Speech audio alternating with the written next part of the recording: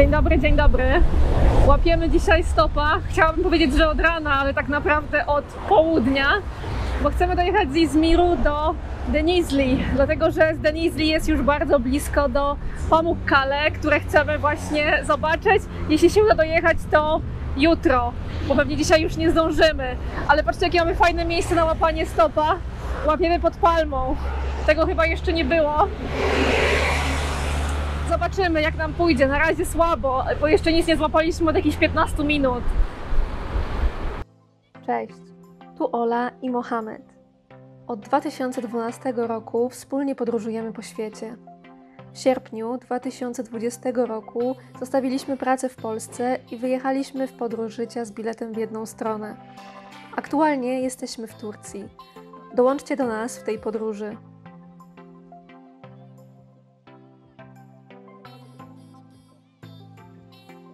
Jesteśmy właśnie w autobusie, a to dlatego, że autostop do Denizli nam całkowicie nie wyszedł. W sumie to nie wiemy dlaczego, ale y, staliśmy chyba z dwie godziny.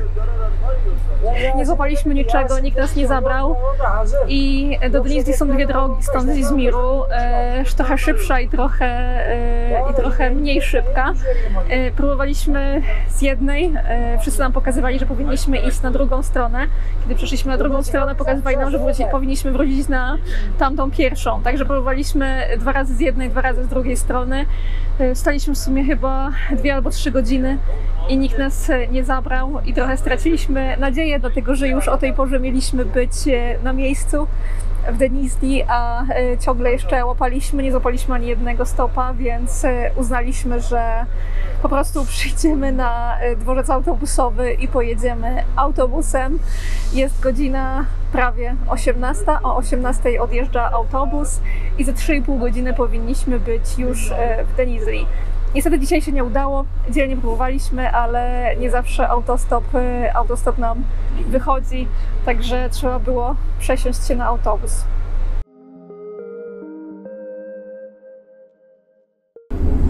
Chodzi o autobus, y, to zapłaciliśmy za niego w sumie 60 lir, czyli 30 lir od osoby. To jest 3,5 godziny drogi, także y, cena całkiem w porządku, około 15 zł, tak naprawdę mało. Słuchajcie, i w cenie tego biletu dostaliśmy jeszcze soczki i jakieś ciastko jako przekąskę, także całkiem miło. Najciekawsze jest to, słuchajcie, że ten autobus jest praktycznie cały pusty. Taka jest obecnie sytuacja, niewiele ludzi podróżuje i e, policzyłam wszystkich pasażerów. W autokarze jest w sumie 9 osób plus dwóch kierowców, także niezbyt dużo. Praktycznie cały pusty.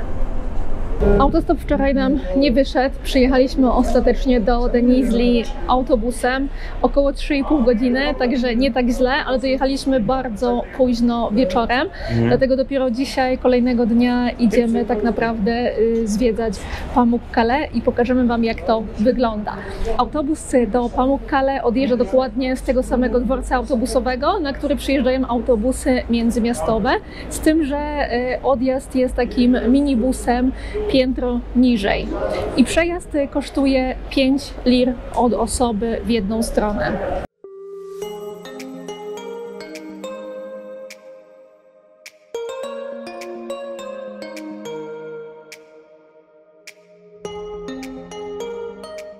Żebyście wiedzieli co i jak, jak tu sami przyjedziecie, to trochę informacji praktycznych. E, Powiedziałam Wam wcześniej, że autobus e, z Denizli do Pamukkale kosztuje 5 lir i tak faktycznie jest. Jeżeli zatrzymujecie się na dole w samej miejscowości i potem przechodzicie sobie do parku, e, żeby zwiedzać. Natomiast my zrobiliśmy inaczej. Postanowiliśmy pojechać kawałek dalej, na górę i zacząć zwiedzanie Pamukkale od drugiej strony, e, tak żebyśmy nie musieli sami wchodzić pod górę, a wręcz przeciwnie, schodzić. I polecam Wam takie rozwiązanie, podjechać autobusem do bramy północnej i taki przejazd kosztuje 5,5 liry, ale przynajmniej jest łatwiej, nie trzeba samemu tak wysoko wchodzić, tym bardziej jak jest słońce. Jak widzicie za nami jest pusto, parking był praktycznie pusty. E, to już teraz jest kilka samochodów, ale wciąż bardzo niedużo.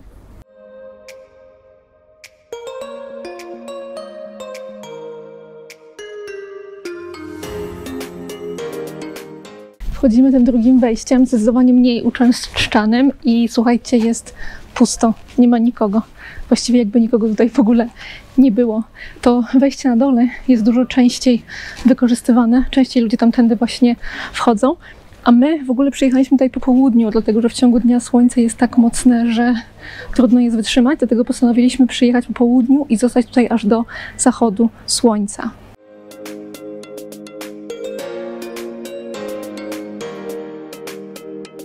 Ponieważ weszliśmy od bramy północnej, to zaczynamy zwiedzanie od Hierapolis. Tutaj się wchodzi na takim samym bilecie co do Pamukkale. Ten bilet kosztuje 80 lir od osoby. Co do Hierapolis, to było antyczne miasto greckie, powstałe prawdopodobnie w II wieku przed naszą erą. A powstało właśnie dlatego, że znajdowały się tutaj te źródła termalne, które zobaczycie później. I już w tamtych czasach ludzie przyjeżdżali tutaj do tych źródeł.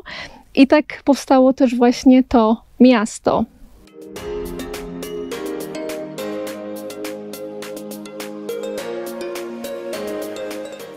Ta część, przez którą właśnie przechodzimy, to są wszystko grobowce.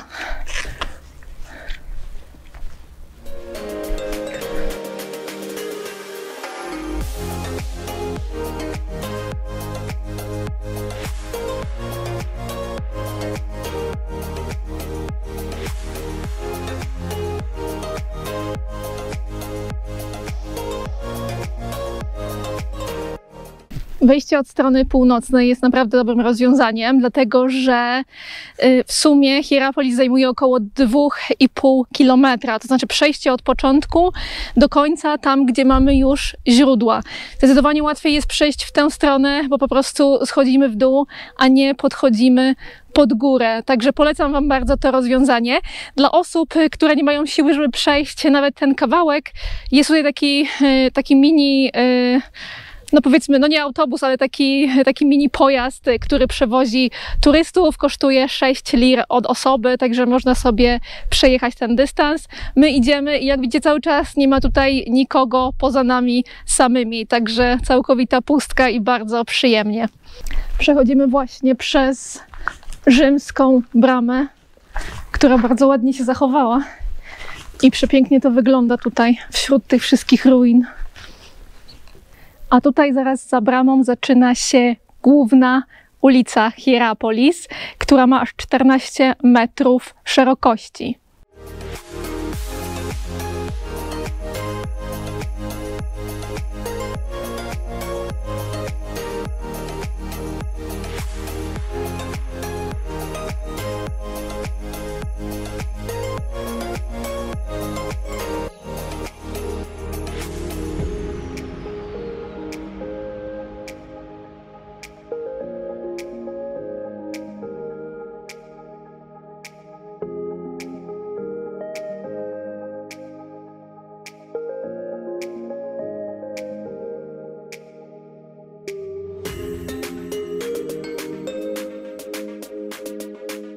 Żeby zobaczyć teatr rzymski, musimy wejść na samą górę, dlatego że cała ta część poniżej jest zamknięta, bo trwają tam jeszcze prace archeologiczne. Dlatego, żeby zobaczyć teatr i wejść do tego teatru, musimy wspiąć się na samą górę na początku. O, trudne.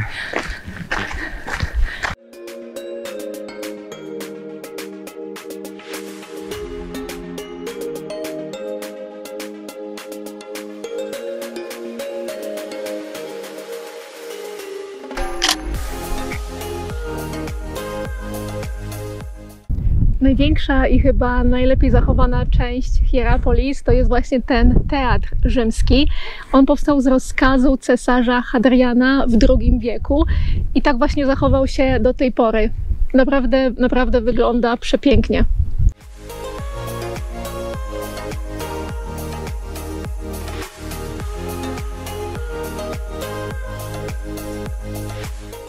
Dotarliśmy do miejsca, do którego mieliśmy tak właściwie dotrzeć i do największej atrakcji chyba w Turcji.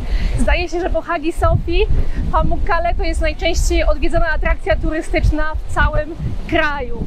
A to wszystko, co widzicie za mną, to nie jest śnieg, bo jest lato i mamy ponad 30 stopni. Natomiast teraz Wam wyjaśnię w ogóle y, skąd ten biały puch się wziął. Y, Pamukkale znaczy po turecku y, zamek z bawełny. Kale to jest zamek i Pamuk to jest po turecku bawełna. Woda, która wypływa tutaj ze źródeł jest bogata w związki wapnia oraz dwutlenek węgla. Kiedy ta woda wypływa na wierzch, ochładza się i w ten sposób wytrąca się węglan wapnia. I właśnie osad węglanu wapnia tworzy tego rodzaju nacieki. I w ten sposób na zboczu góry powstają takie tarasy, które wyglądają jak taki biały puch śniegu. I co ciekawe, ten proces trwa już od 14 tysięcy lat. Te osady tworzone przez węglan wapnia nazywane są też trawertynami. I one tutaj są pod ochroną. Na całym tym terenie powstał Park Narodowy, który później został objęty patronatem UNESCO, właśnie po to, żeby chronić cały ten obszar. I dlatego też y, będziemy tam teraz wchodzić. Y, Tam trzeba wejść na boso, po to właśnie, żeby tych trawertynów nie zniszczyć. Bardzo ciepła jest tutaj ta woda, ale trzeba uważać, bo jak się wchodzi do takiego basenu wodnego, to tutaj jest dosyć ślisko. Bardzo łatwo można upaść, ale bardzo przyjemna jest ta woda. E, Przyszliśmy tutaj i jest już jedna rzecz, która mi się nie podoba, a mianowicie to, że popularną rzeczą tutaj jest, widzę wśród turystów, robienie sobie zdjęć z papugami. I uważam, że jest to okropne, bo jest to wykorzystywanie zwierząt, jak zawsze w turystyce. Gdyby ludzie nie robili sobie tych zdjęć i nie chcieli ich sobie robić, to takiej atrakcji by nie było. Więc jeżeli przychodzicie tutaj, to pomińcie taką atrakcję, bo naprawdę, naprawdę nie warto. Widać, że te papugi nie chcą pozować z ludźmi i krzyczą, robią dużo hałasu, ale muszą być tutaj wciśnięte i muszą ładnie pozować do zdjęć. Wszyscy mówią, że tu jest pięknie, cudownie i te baseny są wspaniałe i faktycznie, słuchajcie, robią wrażenie, wyglądają przepięknie, ale chodzenie pomiędzy nimi to wcale nie jest już taka przyjemność, bo tu jest po prostu sporo kamieni i jest naprawdę ostre podłoże.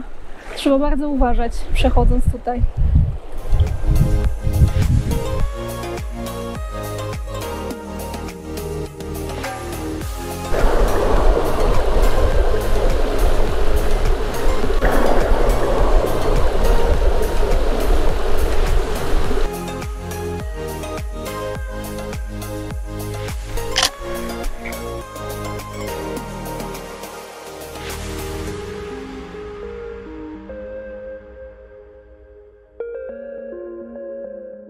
Taka przyjemna ta woda, że czuję, że mogłabym tutaj spędzić e, kilka dni i w ogóle no, stąd tak. nie wychodzić. tak.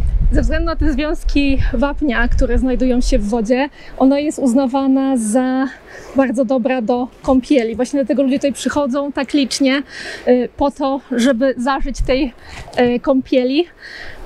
Powiem Wam, że jest naprawdę bardzo miło, Ma magiczny. magicznie. Tak, No. moglibyśmy tutaj spędzić cały dzień. Tak. Jest w ogóle super, a teraz jest już e, późno. Jak widzicie, zachodzi słońce i jest naprawdę bardzo mało ludzi. Super, naprawdę. Chętnie byśmy tutaj przyszli też jutro i pojutrze, i po pojutrze, i jeszcze następnego dnia. E, niestety nie mamy czasu. Nie mamy czasu, No. ale naprawdę jestem zachwycona. Nie dziwię się, że to jest tak często odwiedzane miejsce i to jest chyba moje ulubione miejsce na razie w Turcji. Tak. Takie ja najpiękniejsze, w którym byliśmy. I te ruiny Hierapolis e, również zrobiły na nas duże wrażenie. Tak. Mohamed mówi nawet, że są lepsze niż Efes. Tak, Z Efes niestety nie było vloga, ale e, będzie jakiś wpis na blogu. Mhm. Mi się Efes podobał, ale myślę, że tutaj jest o wiele, o wiele ciekawiej. No, oczywiście. Co? Teraz koniec? Kończymy. No, kończymy. Żegnamy Was dzisiaj w takich pięknych Magiczne, okolicznościach Magiczne. i magicznych okolicznościach tak. przyrody. Bardzo dziękujemy, że nam towarzyszyliście w tej wycieczce. Do zobaczenia w kolejnym vlogu. Pamiętacie, czuka w górę, e, subskryb nasz kanał, e, komentuje. E, do zobaczenia. Cześć. Cześć.